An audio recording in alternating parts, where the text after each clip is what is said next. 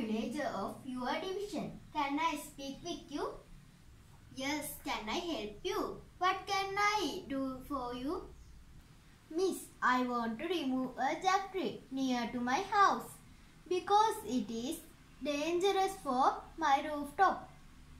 Okay, I want to see it.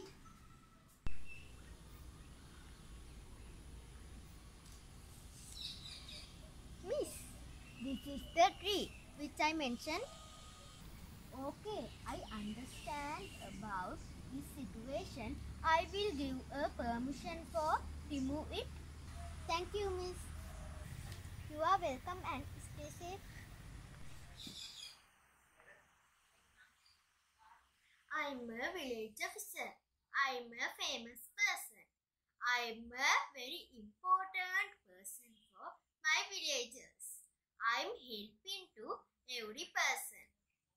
My villagers are very friendly with me.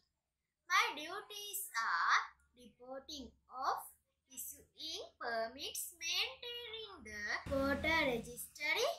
I issue a character certificate my, for my villagers.